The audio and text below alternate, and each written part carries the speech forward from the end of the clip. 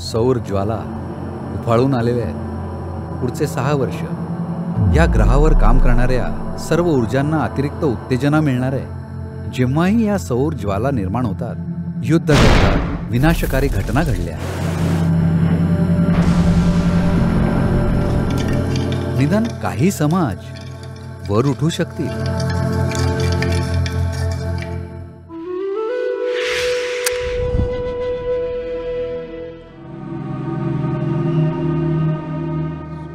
सूर्यामधल्या सौर ज्वालांची क्रिया लक्षणीयरित्या वाढली आहे. आणि ती आणखी वाढतीये.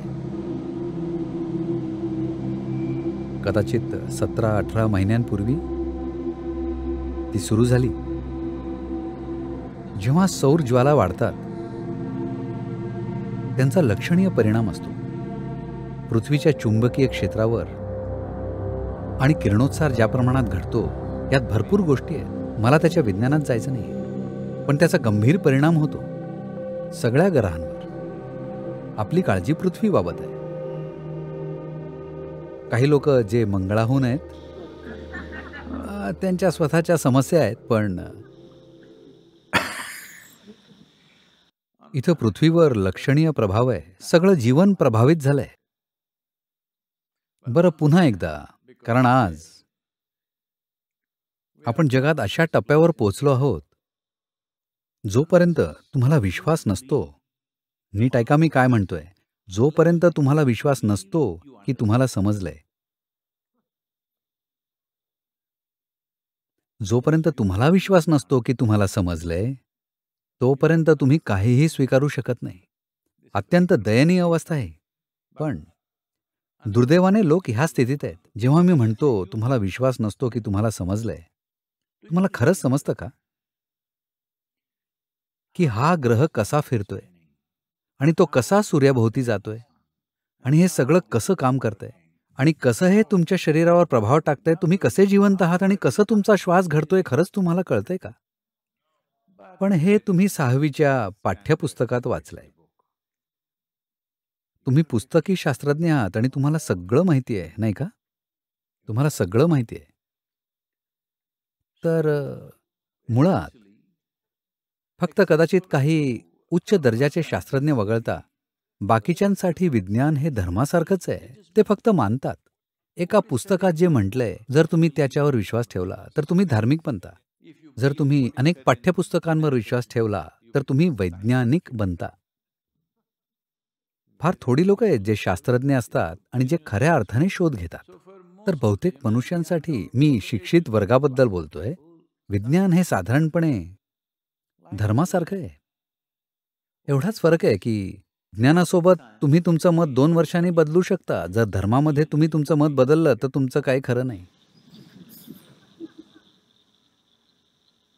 तेवढं सोडलं तर ती एकाच प्रकारची विश्वास प्रणाली आहे.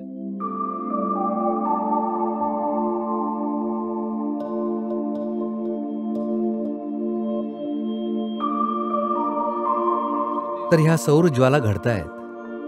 मज्जासंस्थेच्या एका विशिष्ट भागावर. याचा मोठा प्रभाव पडतोय हे सगळ्यांना माहिती आहे. मला हे माझ्या यंत्रणेत काय घडतं त्यातून माहिती आहे. आणि मी ते लोकांच्या यंत्रणेत कसं काम करतायत तेही पाहतोय.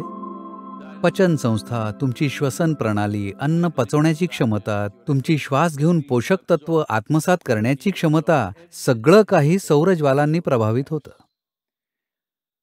तर याची सुरुवात झाली सौरज्वालांची सुरुवात झाली. आणि मला माझ्या शरीर यंत्रणेत काही गोष्टी जाणवल्या. मग मी काही लोकांकडे चौकशी केली. काय घडतंय? हे असं असं वाटतंय. तर ते म्हणाले सौरज्वाला उफाळून आलेले आहेत. आणि पुढचे सहा वर्ष ते खूप उच्च पातळीवर असतील. अशा पातळीवर जी किमान आपण आपल्या जीवनकाळात बघितली नाही आहे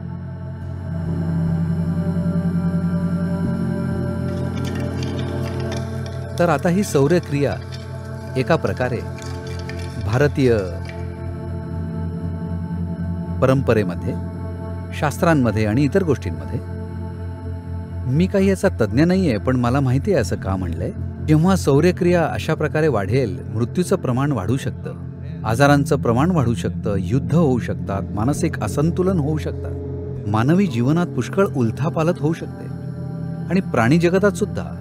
धर्तीवरच्या प्रत्येक जीवामध्ये कारण ते तुमच्या मज्जासंस्थेला पचनसंस्थेला श्वसन यंत्रणेला सगळ्यावर प्रभाव करतं.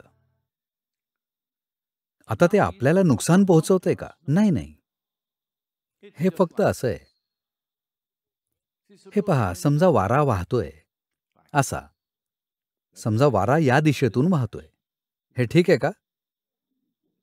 त्या दिशेतून व्हायला तर चालेल का? ठीक आहे. आता तुम्ही याचा विरोध करायचा प्रयत्न करताय. याचा खरंच खूप त्रास होईल. वारा जर खूपच जोरात वाहत असेल तर तुम्ही काहीच करू शकणार नाही. किंवा समजा तुम्हाला उडायचंय. तुम्हाला उडायचं असेल आणि वारा असा वाहत असेल जर तुम्ही वाऱ्यासोबत गेलात काहीच न करता काहीच इंधन न खर्च करता तुम्ही असे वर जाल. पण त्याच्या विरुद्ध तुम्ही जर गेला तर तुमचं विमान क्रॅश होईल. ग्लायडर क्रॅश होईल. जे काही तुम्ही उडवण्याचा प्रयत्न करत असाल.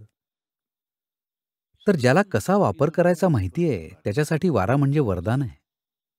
आणि ज्याला कसा वापरायचा माहीत नाही त्याच्यासाठी एक शाप आहे. हे प्रत्येक शक्तीबाबत खरं आहे. या विश्वातल्या. तर सौर ज्वाला सुद्धा अशाच आहेत. आता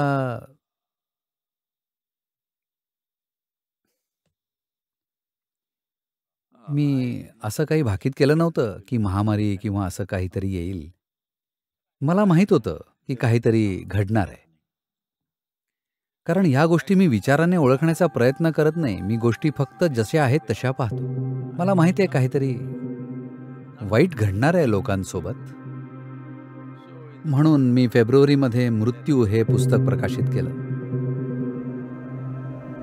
आठ वर्ष त्याचं काम चालू आहे. आणि जे लोक त्याच्यावर काम करत होते त्यांना अगदी ते परफेक्ट असायला हवं होतं. मृत्यू बरं का? त्यांनी त्याच्यावर काम केलं काम केलं काम केलं. ते माझ्याकडे आलं मी त्याच्यावर काम केलं पुन्हा त्यांच्याकडे दिलं पुन्हा ते आले आणखीन एक प्रश्न आणखीन एक प्रश्न मागे पुढे असं आठ वर्ष चालू आहे. मग मी एक डेडलाईन दिली. हे संपायला हवं. जानेवारी दोन हजार वीस पर्यंत. आणि फेब्रुवारीमध्ये आम्ही ते प्रकाशित केलं. भारतातले अनेक लोक मला म्हणाले सद्गुरू तुम्हाला माहीत होतं. अरे मी नाही आणला हा व्हायरस जिथून कुठून. मला माहीत नव्हतं. माहीत असतं तर मी तुम्हाला सांगितलं असतं की तो येतोय. मला फक्त कळलं होतं की काहीतरी वाईट घडणार आहे. काहीतरी वाईट घडेल. लोकांची कुठल्या तरी प्रकारे उलथापालत होईल.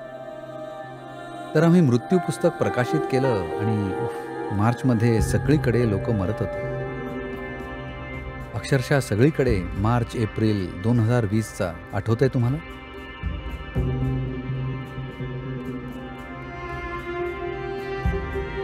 तर ह्या सौर ज्वाला सतरा अठरा महिन्यांपूर्वी सुरू झाल्या. आणि त्या वाढत गेल्या आहेत. हे आणखी साडेचार वर्षांसाठी चालू शकतं. ह्या वेळेमध्ये मानवता स्वतःवर अनर्थ ओढवून घेईल की ते साक्षात्कार आणि परिवर्तन घडवून आणतील? ते मनुष्यांच्याच हातात आहे.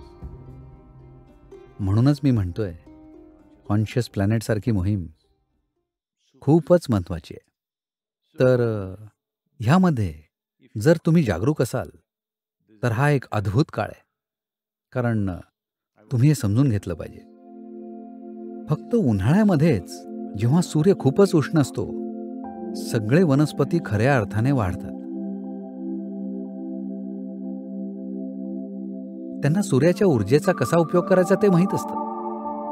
तुम्ही म्हणाल अरे किती ऊन आहे. हिवाळ्यात सुद्धा तुम्ही तक्रार करता पण काहीतरी नवीन. प्रत्येक ऋतू तुम्हाला तक्रार करायचं काहीतरी नवीन कारण देतो. मग निसर्गातले ऋतू असू दे किंवा तुमच्या आयुष्यातले ऋतू असू दे तुम्ही सतत कशाबद्दल तरी तक्रार करत असता कारण तुम्ही त्याच्यावर स्वार व्हायचं शिकत नाही.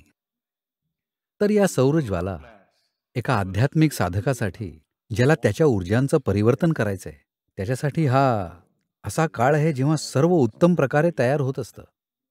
मला खात्री करायची आहे की ज्या सर्व प्राणप्रतिष्ठा मला करायच्या आहेत त्या मला पुढच्या साडेचार वर्षात पूर्ण करायच्या आहेत. कारण सूर्य स्वतः माझ्यासोबत आहे.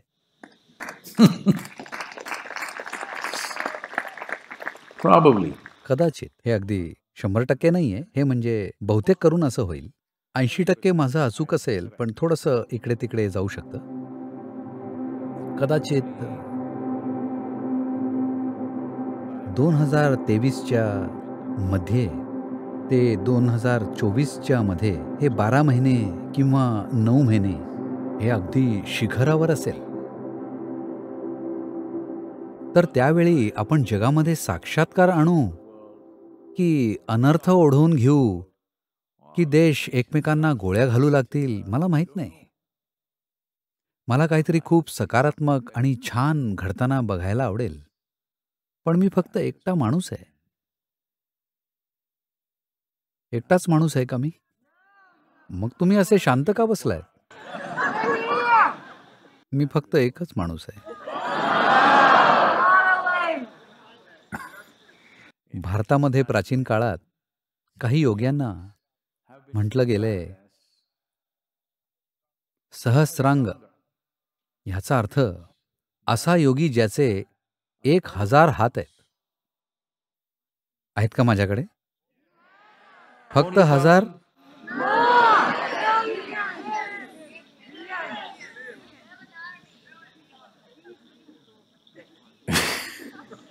तुम्ही म्हणाला तुमच्याकडे एक सेना आहे.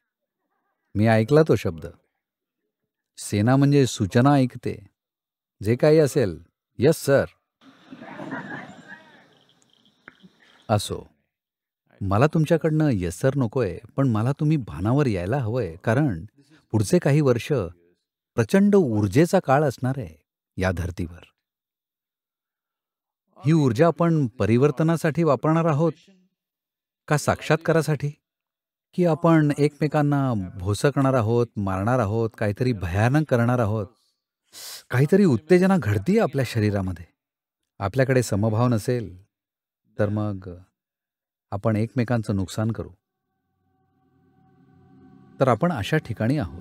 बघा तुम्ही पुढे काय घडतंय. आणि आज याबद्दल पुरेसा वैज्ञानिक अभ्यास केला गेलाय. हे दाखवण्यासाठी की हे या सौर ज्वाला पूर्वीच्या काळात योगिक कॅलेंडरमध्ये दर्शवल्या आहेत. जेव्हा कधी सौर ज्वाला ठराविक पातळीपर्यंत वाढल्या आहेत. ते सतत घडत असतं पण ठराविक वेळी. मला वाटत नाही की ह्यासाठी काही विशिष्ट वेळापत्रक आहे. हे असंच घडून येतं. ज्या कुठल्या कारणामुळे असेल मला वाटत नाही की कोणाला खरंच कळतंय की हे का होतं आणि त्या ठराविक वेळेला का होतं. कारण कदाचित याचं चक्र लाखो वर्षांचं असेल कोणालाच त्याचं निरीक्षण करणं शक्य नाही. की ते नेमकं त्याच ठराविक वेळी का होतं? आपली निरीक्षणं सगळी शतकांची आहेत त्यामुळे आपल्याला खऱ्या अर्थाने काय होतं हे माहीत नाही. पण जेव्हा कधी अशा सौर्य ज्वाला घडल्या महान योगी उभे राहिले. या संस्कृतीमध्ये. त्याच वेळी युद्ध घडली भयानक घटना घडल्या. कधी कधी भूकंप घडले. कारण चुंबकीय शक्ती पृथ्वीवरच्या आणि पृथ्वीच्या केंद्रस्थानी असलेल्या थर्मल शक्ती या सगळ्यांचा प्रभाव पडतोय. या सौर ज्वालांमुळे. तर जर एखादा ज्वालामुखी फुटला जर तुम्हाला लांबून बसून पाहायला मिळालं एखादा ज्वालामुखी जोरात फुटताना तर काय विलक्षण दृश्य असेल ते तुम्ही चुकणार नाही नाही का? फक्त जर तुम्ही त्याच्या पायथ्याशी असाल आणि तुम्ही त्या लावाचा भाग बनणार असाल मग ती चांगली गोष्ट नाही. तर जगातली प्रत्येक शक्ती अशीच आहे.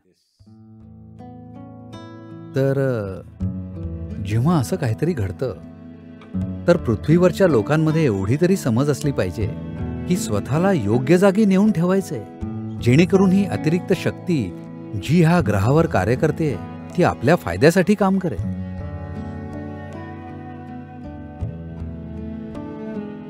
म्हणूनच तुमच्या आयुष्याच्या प्रत्येक पैलूकडे लक्ष देणं खूपच महत्वाचं बनतं. नाहीतर वेदना होतील मृत्यू घडतील समस्या येतील. निदान जर आपल्याला संपूर्ण जग बदलता आलं नाही हे सुद्धा अगदी अशक्य नसलं पाहिजे. आज संपर्काची साधनं ज्या पातळीवर गेली आहेत ते पाहता कारण पृथ्वीवर कधीच आपण आजच्या एवढ्या लोकांशी संपर्क साधू शकत नव्हतो. जे तंत्रज्ञानामुळे शक्य झालं आहे तर तंत्रज्ञानाचा आणि सौर ज्वालांचा वापर करून आपण पुढचे साडेचार वर्ष मानवतेसाठी अद्भुत बनवू शकतो. पण जर आपल्याला जमलं नाही तर निदान समाजाचा काही भाग मानवी लोकसंख्येचे काही भाग वर उठू शकतील. जे याचा उपयोग घेणार नाहीत. आपल्याला माहीत नाही की काय होईल. असं नाही आहे कुठला तरी सगळं नष्ट करणारा अनर्थ होणार आहे. भूकंप होईल पूर येईल ते तसं असण्याची गरज नाहीये. पण अतिरिक्त उत्तेजना घडतीये. सर्व ऊर्जांसाठी. ज्या या ग्रहावर काम करतात चुंबकीय शक्ती आणि न्यूक्लिअर रेडिएशन आणि चुंबकीय भाग जे पृथ्वीचं फिरणं मागे सोडून जातं आणि ज्या प्रकारे चंद्राचा पृथ्वीशी संबंध आहे आणि तो कशा प्रकारे सौर ज्वालांच्या ऊर्जा पृथ्वीच्या दिशेने परावर्तित करतो आणि त्याने काय होतं? या सगळ्या गोष्टींना कुठल्या तरी प्रकारची उत्तेजना मिळणार आहे. जेव्हा अतिरिक्त उत्तेजना मिळते बरं का? जसं त्या दिवशी मी मोटरसायकल चालवत होतो आजकाल सगळं आधुनिक झालंय जेव्हा मी चालवायचो तिथे एकच मोड होता माझा मोड. आजकाल वेगवेगळे मोड असतात. Off road mode rain mode touring आणि स्पोर्ट. मी कायम स्पोर्टवर ठेवतो जी कुठली मोटरसायकल चालवत असेल ती. कारण मला ती फुल पॉवरवर हवी आहे. तर जेव्हा मी चालवत होतो एकतर भारतामध्ये किंवा इथे मी त्या दिवशी चालवत होतो तर मागचं चाक थोडंसं हलायला लागलं होतं. कारण ह्या हाय पॉवर मोटरसायकल आहेत. जर तुम्ही त्यांना रेन मोडवर टाकलं तर ते कमी होईल. किती प्रमाणात म्हणजे ते जवळपास एकशे साठ बी एच पी दोन चाकी गाडीसाठी हे खूप आहे. जर तुम्ही ते रेन मोडवर टाकलं तर ते नव्वद बी एच पी होतं. जेणेकरून सुरक्षित होतं. पण तुम्हाला माहिती आहे मला ते आवडत नाही. खूप सुरक्षित असलं तर मला कंटाळा येईल. म्हणून मी ते स्पोर्ट मोडवर पावसात चालवतो. मग ते जरा हालायला लागतं मागचं चाक. पण जेव्हा अतिरिक्त पॉवर असते तेव्हा तुम्ही अशा गोष्टी करू शकता ज्या तुम्ही इतर वेळी करू शकणार नाही नाही का? तर आत्ता सध्या त्याच प्रकारची परिस्थिती आहे. सगळंच अतिरिक्त प्रमाणात आहे. पृथ्वीवर आणि ते वाढणार आहे पुढच्या एका वर्षात. जेव्हा हे घडेल तेव्हा आपण एकतर आपली हाडं मोडून घेऊ शकतो किंवा आपण वर उठू शकतो. ही माझी इच्छा आहे की सगळ्यांनी वर उठलं पाहिजे. जे काही आपण करू शकतो ते आपण केलं पाहिजे. मानवतेला उंचीवर नेण्यासाठी कारण अशा प्रकारची ऊर्जा उपस्थित आहे. ते आपल्याला स्वतःहून निर्माण करणं अवघड आहे. आणि संपूर्ण पृथ्वीवर त्याचा प्रभाव आहे.